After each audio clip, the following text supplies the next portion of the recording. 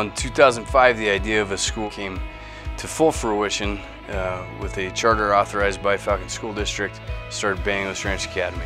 Here we are 11 years later. We've got over 800 kids in the school.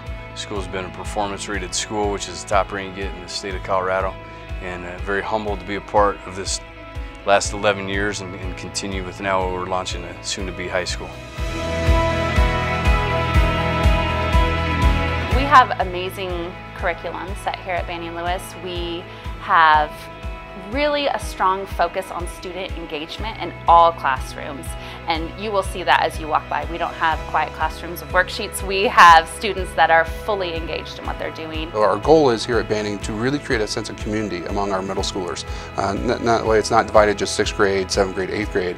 We want them to feel like, you know what, it's a community of all middle schoolers. We really do stress getting to know our children, developing a relationship, making eye contact, greeting them very uniquely. The curriculum here is really strong.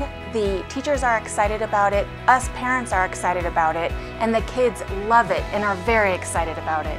We love that you feel like a family walking into Banning Lewis here at school. The staff, the teachers, everybody knows your kids and your family.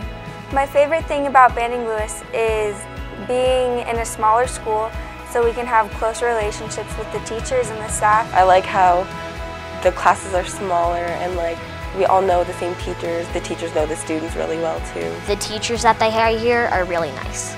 I love the community, how we really incorporate everybody.